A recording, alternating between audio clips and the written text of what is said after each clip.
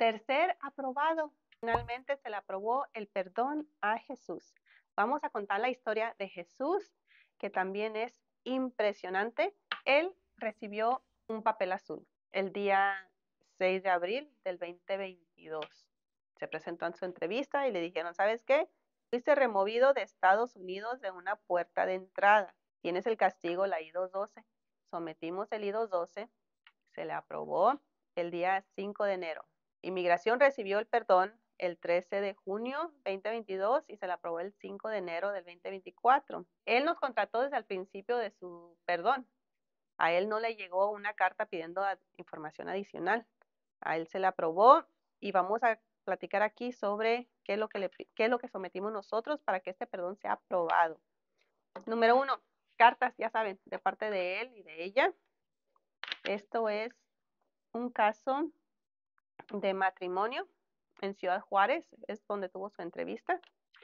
Sometimos cartas, sometimos eh, comprobante de la relación, sometimos evaluación mental, sometimos acta de nacimiento de los hijos. Tienen una, dos, tres, cuatro, cinco hijos ciudadanos americanos y todos son menores de edad. Wow, mira, una de un año, tres años, cinco años, doce años, dieciocho años. Ahí en las cartas platicamos sobre, pues, oye, son cinco hijos, cómo ella puede mantener o puede educar bien o puede criar bien a, sus hijos, eh, que ella le gustaría tener a su esposo para, para que ella se le haga más fácil. Sometimos también registración, o sea, que los niños, comprobantes que los niños están en la escuela. Ella tiene una maestría en Estados Unidos, así que ella, para ella sería difícil tener que dejar sus estudios, dejar su educación y irse a un país nuevo que no conoce y empezar desde cero. Sería difícil. Ahí en las cartas lo explicamos. Gastos mensuales y deudas que tiene. Por sus estudios también se acumularon, así que es difícil para ella dejar aquí y irse a México, ganar pesos y cómo va a pagar tanta deuda.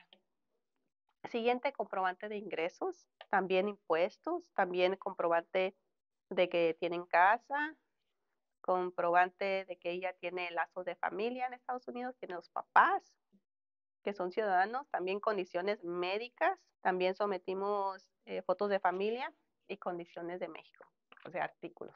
Gracias a Dios que se le aprobó el caso a Jesús y ya muy pronto él podrá venir a Estados Unidos y ya estar con su familia. Gracias por ver este video.